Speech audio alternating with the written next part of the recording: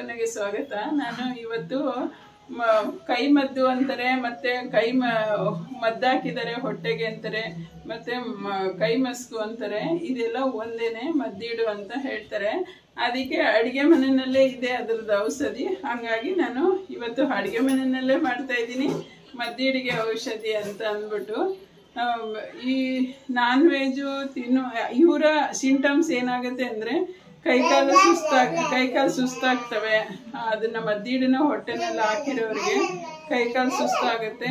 ಮತ್ತೆ ಸಣ್ಣದಾಗಿ ಹೊಟ್ಟೆ ಊಟ ಮಾಡಿದ ತಕ್ಷಣ ಸಣ್ಣದಾಗಿ ಹೊಟ್ಟೆ ನೋವು ಬರುತ್ತೆ. ಅವ್ರು ಅವಾಗವಾಗ ಟಾಯ್ಲೆಟ್ಗೆ ಹೋಗ್ತಾ ಇರ್ತಾರೆ. ಆಮೇಲೆ ಸಣ್ಣ ಆಗ್ತಾ ಇರ್ತಾರೆ ನೋಡ್ತಾ ನೋಡ್ತಾ. ಇದು ಹೆಂಗೆ ನಮಗೆ ಗೊತ್ತಾಗಬೇಕು ಅಂತ ಅಂದರೆ ನುಗ್ಗೆ ಸೊಪ್ಪಿನ ಬೆಳಗ್ಗೆನೇ ನೀರು ಮುಟ್ಟಿರಬಾರ್ದು. ಹಾಕಿದೆ ಅಂತ ನಮಗೆ ಡೌಟ್ ಇರುತ್ತಲ್ಲ, ಅವರು ಅಷ್ಟೇ ನಾವು ಕೈಗೆ ಅದನ್ನ ಹಿಂಡ್ಬಿಟ್ಟು, ಉಜ್ಜಿಬಿಟ್ಟು ಹಿಂಡೋರು ಅಷ್ಟೇ ನೀರು ಮುಟ್ಟಿರಬಾರ್ದು. ಆ ಸೊಪ್ಪನ್ನ ಕಿತ್ಕೊಬಂದ್ಬಿಟ್ಟು ಚೆನ್ನಾಗಿ ಕೈಯಲ್ಲಿ ಹಿಂಗೆ ಒಸಗ್ಬಿಟ್ಟು ಅವ್ರ ಕೈ ಹಂಗ ಹಿಂಗೆ ಇಡಿಸ್ಬಿಟ್ಟು ಈ ಹಿಂಡಿದ್ರೆ ಅದ್ರ ಮೇಲ್ಗಡೆ ಮೊಸರು ಕೆನೆ ಥರ ಆಗುತ್ತೆ. ಕೆಳಗಡೆ ಒಂದು ಸ್ವಲ್ಪ ಲೈಟಾಗಿ ರೆಡ್ ಆಗಿರುತ್ತೆ ನೀರು ಥರ ಹಂಗಾಗಿದ್ರೆ ಆಗಿದೆ ಮದ್ದಿಡು ಅಂದ್ಬಿಟ್ಟು. ಮತ್ತೆ ಅದಾಗಿಲ್ಲ ಅಂತಂದ್ರೆ ಹುಳಿಕಾಳು ಸ್ವಚ್ಛವಾಗಿ ಬೆಳ್ಳಗಿರೋ ಹುಳಿಕಾಳನ್ನ ತೆಗೆದ್ಬಿಟ್ಟು. ಬೆಳ್ಳಗೆ ಅಂದ್ರೆ ಹುಳ್ಳಿಕಾಳು ಬಣ್ಣ, ಕಪ್ಪಾಗ್ದಿರ ಬೆ, ಒಂಥರ ಕೆಂಪುನು ಇರುತ್ತೆ ಕೆರಿಯುತ್ತೆ ಕೆಲವು ಹುಳ್ಳಿಕಾಳು ಕೆಲವೊಂದೊಂದು ಕಪ್ಪು ಇರುತ್ತೆ, ಅದನ್ನೆಲ್ಲ ತೆಗೆದ್ಬಿಟ್ಟು ಆಗಿ ಇರುತ್ತಲ್ಲ ಆ ಹುಳ್ಳಿಕಾಳನ್ನ ಒಂದು ಒಂಬತ್ತು, ಹನ್ನೆರಡು ಅವ್ರಿಗೆ ಯಾರಿಗೆ ನಮ್ಗೆ ಡೌಟ್ ಇರುತ್ತೆ, ಅವ್ರ ಯೂರಿನಲ್ಲಿ ನೈಟು ಯಾವ್ದಾರ ಒಂದು ವೇಸ್ಟ್ ಮುಚ್ಚಳದಲ್ಲೋ ಏನ್ರಲ್ಲೋ ಹಾಕ್ಬಿಟ್ಟು ನೆನೆಸಿ ಇಟ್ಬಿಟ್ಟು ಬೆಳಗ್ಗೆ ನೋಡಿದ್ರೆ ಒಂಥರ ಬ್ರೌನ್ ಬಣ್ಣ ಆಗಿರುತ್ತೆ. ಇಲ್ಲಾಂದರೆ ಸಣ್ಣ ಸಣ್ಣ ಕೂದಲುಗಿಂತ ಸಣ್ಣಕ್ಕೆ ವೈಟ್ ವೈಟಿಗೆ ದಾರ ಥರ ಬಂದಿರುತ್ತೆ.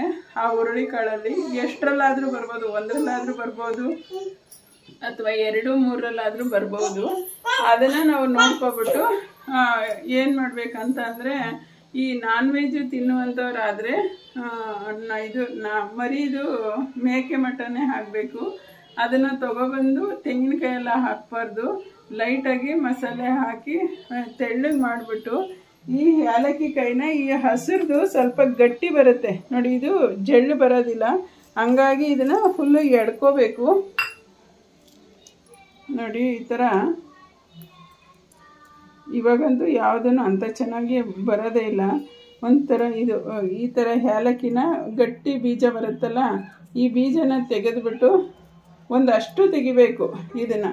ದೊಡ್ಡವ್ರಿಗಾದರೆ ಒಂದು ಇಪ್ಪತ್ತು ಗ್ರಾಮ್ ಅಷ್ಟು ಏಲಕ್ಕಿ ತೊಗೋಬೇಕು. ಇಪ್ಪತ್ತು ಗ್ರಾಮ್ ಅಷ್ಟು ಏಲಕ್ಕಿ ತೊಗೊಬಿಟ್ಟು ಇದನ್ನು ಸುಲ್ಕೊಬಿಟ್ಟು ಇದರ ಬೀಜನ ತೆಗೆದು ಪುಡಿ, ಪೌಡ್ರ್ ಮಾಡ್ಕೋಬೇಕು. ಚೆನ್ನಾಗಿ ಪೌಡ್ರ್ ಮಾಡ್ಕೊಬಿಟ್ಟು ಒಂದು ತಟ್ಟೆನೆಲ್ಲ ಒಂದು ತಟ್ಟೆನಲ್ಲಿ ಒಂದಿಷ್ಟು ಅಗಲ ತಟ್ಟೆನೆಲ್ಲ ಹಾಕ್ಬಿಟ್ಟು ಅದು ಮೇಕೆ ಮಟನ್ದು ಸಾಂಬಾರು ಇರುತ್ತಲ್ಲ, ಅದನ್ನು ಉಯ್ದು ಉಯ್ದು ಈ ಪುಡಿ ಫುಲ್ಲು ಖಾಲಿ ಆಗೋವರೆಗೂ ಸ್ವಲ್ಪ ಸ್ವಲ್ಪ ಹಾಕಿ ಸ್ವಲ್ಪ ಬೆಚ್ಚಿಗೆ ಅವ್ರಿಗೆ ಎಷ್ಟಕ್ಕೆ ಸಾಧ್ಯನೋ ಅಷ್ಟು ಬೆಚ್ಚಿಗೆ ಕುಡಿಯೋ ಥರ ಅದಷ್ಟನ್ನು ಕುಡಿಸ್ಬೇಕು ಅವ್ರಿಗೆ.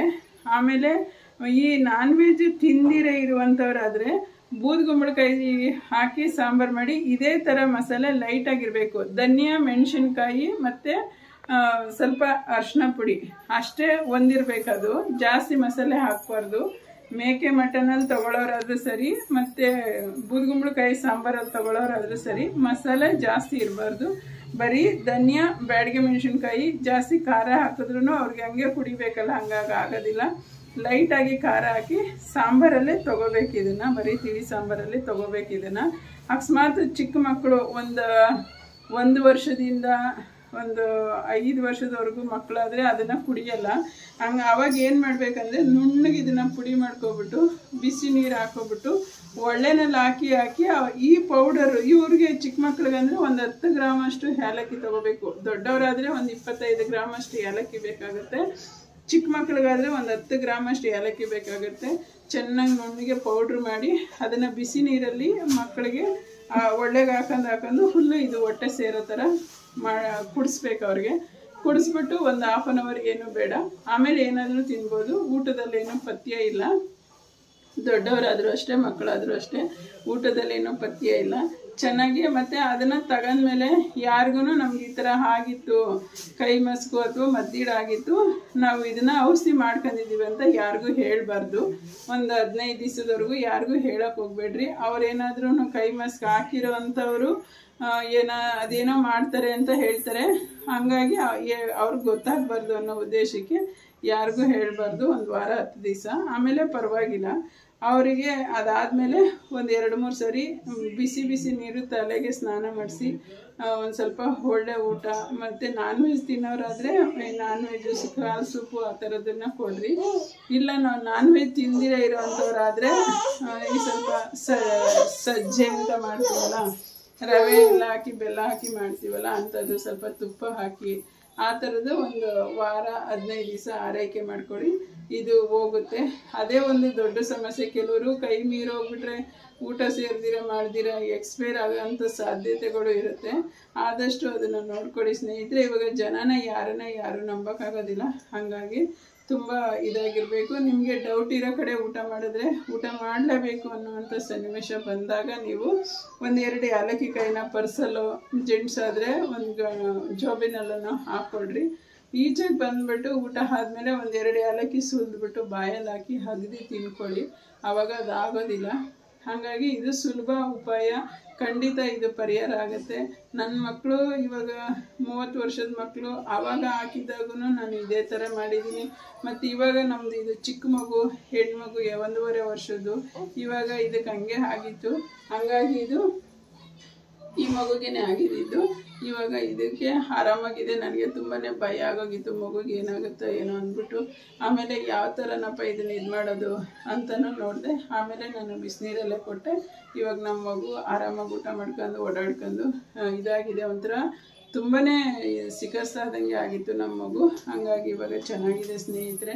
ಎಲ್ಲಿನೂ ಪರದಾಡಕ್ಕೆ ಹೋಗ್ಬೇಡ್ರಿ. ಪಾಪ ಎಲ್ಲೆಲ್ಲೋ ಹುಡಿಕೊಂಡು ಬೆಳಗ್ಗೆ ಅಲ್ಲಿ ಅದೇನೋ ಬನ್ನಾರ್ಘಟ್ಟದಲ್ಲಿದೆ ಅಂತಾರೆ, ಮತ್ತೆ ಇಲ್ಲಿ ಯಡೂರ್ ಸರ್ಕಲಲ್ಲಿ ಇದೆ ಅಂತಾರೆ, ಅದನ್ನೆಲ್ಲ ಹುಡಿಕೊಂಡು ಹೋಗಿ ಅರ್ಲಿಯರ್ ಆಗಿ ನಾವು ಮಾಡಕ ಹೋಗಿ ಹುಡಿಕೊಂಡು ಹೋಗೋಕ್ಕಾಗಲ್ಲ. ಇದನ್ನು ಅಷ್ಟೇ ಖಾಲಿ ಹೊಟ್ಟೆನಲ್ಲೇ ಬೆಳಗ್ಗೆನೆ ಆ ಥರ ಮಾಡಿ ತಗೋಬೇಕು. ನೀವು ಬಿಸಿನೀರಲ್ಲಿ ಆಗಿರ್ಬೋದು ಬೂದು ಕುಂಬಳಕಾಯಿ ಸಾರಲ್ಲಿ ಆಗ್ಬೋದು ಅಥವಾ ನಾನ್ ವೆಜ್ ಆದರೆ ಮೇಕೆ ಮಟನೇ ಹಾಕಬೇಕು.